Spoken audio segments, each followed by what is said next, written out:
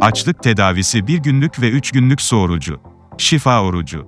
Doktor Aydın Salih'in aralıklı oruç ile ilgili tavsiyelerini bu videoda sizler için hazırladık. Sağlık, ahlak, akıl, din ve ilmi anlayışın tüketilen besine bağlı olduğu çok eskiden beri bilinmektedir. Verimli topraklarda yaşayanlarda genellikle kabalık, zihinsel ve fikri zayıflık davranışlarda aşırılık görülür. Çünkü çok besin tüketenlerin vücudunda atıklar birikir, biriktikçe çürümeye başlar, kanı kirletir. Dolayısıyla cilt rengi bozulur, aşırı kilo almakla beden bozulur, zihin körleşir, idraksizlik ve gaflet galip gelir. Çorak topraklarda yaşayanların bedenleri hafif, yüzleri güzel olur.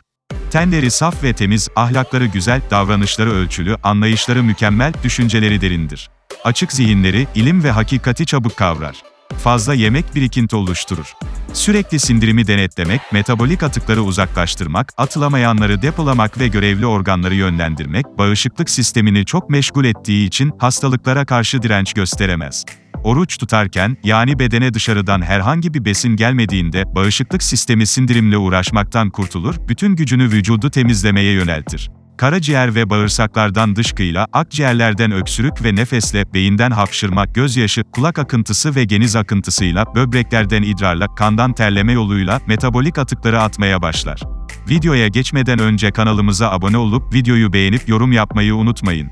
Hazırsanız videoya geçelim. Açlıkta niyet çok önemlidir. Açlığa niyet edildiğinde, bağışıklık sistemi, her organ ve her bir hücre kendini bu niyete göre programlar. Açlığın her günü için, belli miktarda fazlalığı atmayı ve harcamayı planlar. Vücudun programını bozmamak için, niyeti bozmamak gerekir. 36 saatlik açlık nasıl yapılır? Açlıktan önceki gün, saat 19'dan sonra hiçbir şey yenmez. Mesela pazar günü açlık yapılacaksa, cumartesi günü akşam 19'dan sonra hiçbir şey yenmez. Pazartesi sabahı, saat 7'de meyve suyu içilerek oruç açılır. Yemekten hemen sonra, yarım çay kaşığı toz sinameki yutarak veya yatmadan önce bardak suda bir yemek kaşığı magnezyum sülfat eritip içerek bağırsaklar boşaltılır. Kabızlık sorunu olanlar, sahurda lavman yapabilir. Aksi halde lavmana gerek yoktur. Açlık günü iftarda bir şey yemeden, 1 ila 3 yudum temiz su ile oruç açılır. Su içme isteği baskın olursa su içilebilir. Açlıktan sonraki gün. Sabah ilk olarak saat 7'de meyve suyu içilir, bu şekilde 36 saatlik oruç tamamlanmış olur. Ardından meyve yenir. Gün boyu yalnızca taze sıkılmış meyve suyu içilir, meyve ve salata yenir. Akşama yakın etsiz yemek, yani sebze yemeği yenebilir. 3 günlük açlık nasıl yapılır? 3 günlük su orucu yaparken, açlığın ilk günü bir günlük açlıkta olduğu gibi, sahurda su içilir, sonra iftar ve sahurda bir şey yemeden 3 gün arka arkaya oruç tutulur.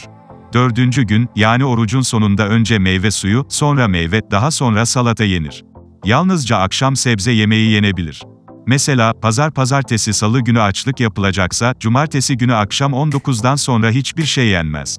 Çarşamba sabahı saat 7'de, meyve suyu içilerek oruç açılır. Hastalığı ağır olanlar, 3 günlük orucu 7 gün arayla, 7 ila 21 defa yapmalıdır. 3 günlük orucun, kanser dahil bütün hastalıklara büyük faydası vardır. Ağır hastalık geçirenlerin hayatı boyunca yapması gerekenler. Düzenli olarak sülük ve hacamat ile kanı temizlemek. Su ve yiyecek kalitesine dikkat etmek.